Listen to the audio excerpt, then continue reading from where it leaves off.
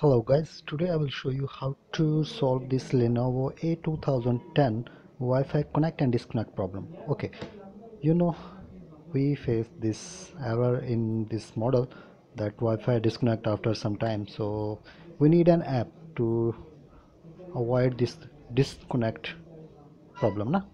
so for this you just need to go to Play Store and then Play Store just search a mini app the name is wi-fi keep alive. Wi-fi keep alive. Okay this app is made by Royce R-O-Y-S Royce. I already installed this app so my status is installed. So I will take you to the app. Just push it and install that app. Okay back here this my app.